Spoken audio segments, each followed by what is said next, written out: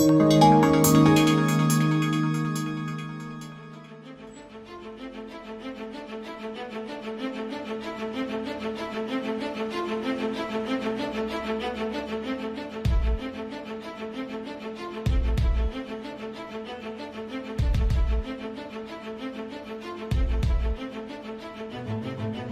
كي تطلع الحافلة وتلقى بروب ونقية وما شاء الله واستقبال.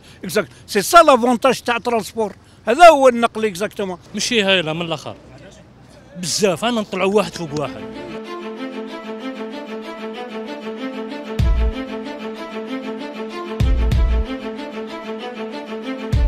هي صور حية لحالة بعض حافلة نقل المسافرين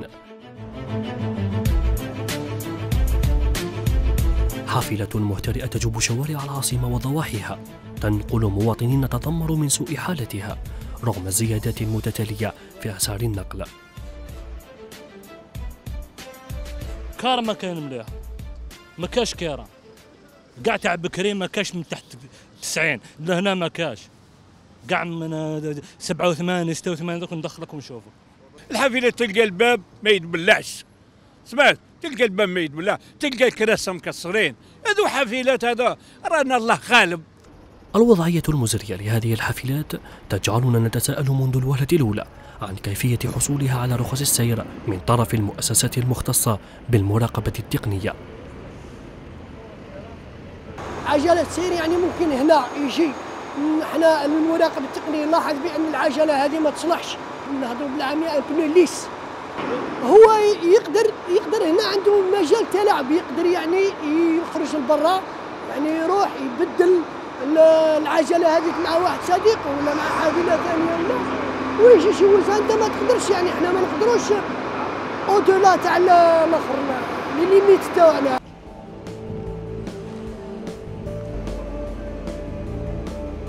من أجل معرفة خطوات عملية المراقبة التقنية للحافلات رافقنا كريم القاصد لمركز كوطا. فبعد التأكد من صحة الوثائق تبدأ عملية المراقبة التقنية تحت أعين التقنيين.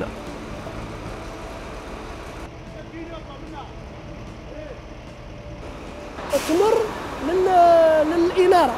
ومن بعد تمر التلوث البيئي هذا. نشوفوا يعني كاين ماكينه خاصة بهذا التلوث. وما هذا ال freinage ال système de freinage. شو الفرينومتر هذا؟ نراقبوا المكابح تاعها اذا تصلح إذا ما تصلحش.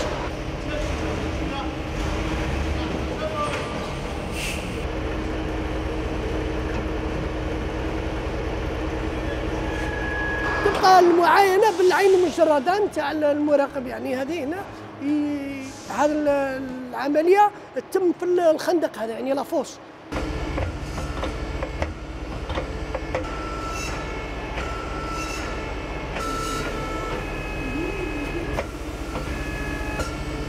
أسباب وأعذار عديدة.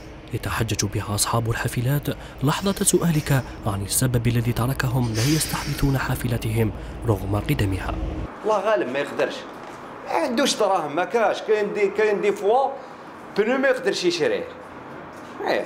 أنت ولا عندك par exemple واحد ست دراري ولا سبع دراري وما ما تلحقش. والبيش هذا عنده les frais. مجهودات تقوم بها الجهات الوصية للقضاء على مشكل اهتراء الحافلات.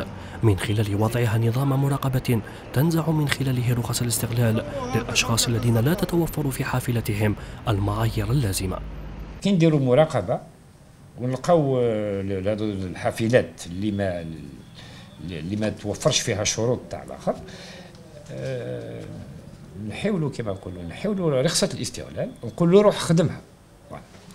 ما نديوه ني لا فوليا ني والو سي نخليو له لا تاعو حنا نحيولو الرخصة. الرخصة تقعد في مديرية النقل.